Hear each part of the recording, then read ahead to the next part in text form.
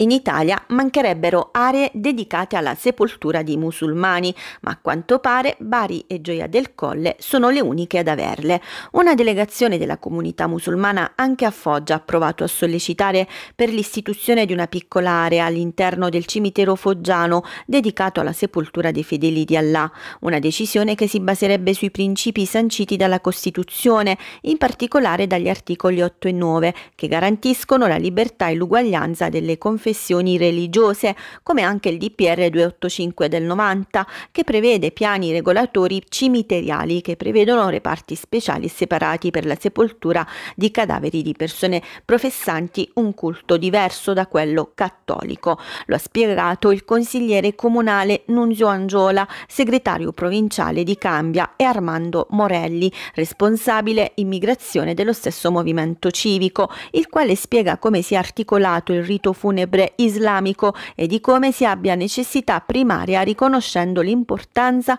del rito di sepoltura, permettendo di rispettare i propri principi anche in momenti delicati come quelli del lutto, dando rispetto e dignità a ogni cittadino. Dopo aver ricevuto una lettera con 113 firme trasmesse al comune, Angiola e Morelli hanno depositato una mozione in consiglio comunale per destinare un pezzo di terra ai defunti di religione islamica, seguendo seguendo un progetto a costo zero di realizzazione necropoli e che non richiede l'edificazione di alcuna struttura, dando luogo all'inclusione e al rispetto per la comunità musulmana presente sul territorio e che hanno figli e cittadini presenti sul territorio nati e cresciuti in Italia, conclude Angiola.